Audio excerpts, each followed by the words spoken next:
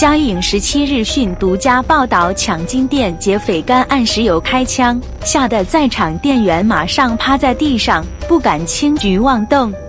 购物广场金店被打抢一案，三名劫匪是持枪上阵，一到现场就开枪击破玻璃展示柜。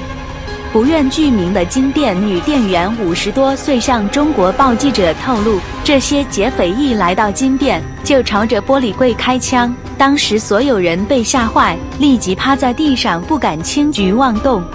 他说，当时为了保命，立即蹲下躲藏，完全来不及看清楚对方的样貌，只知道整个事发过程三至四分钟后，玻璃柜里的部分贵重金饰就被他们抢走。我怀疑他们干案前就曾来踩点，了解较贵重金饰品的摆放位置，目前损失金额仍在估计当中。据现场目击者指出，其中二名匪徒各自手持一把 M 十六来福枪干案。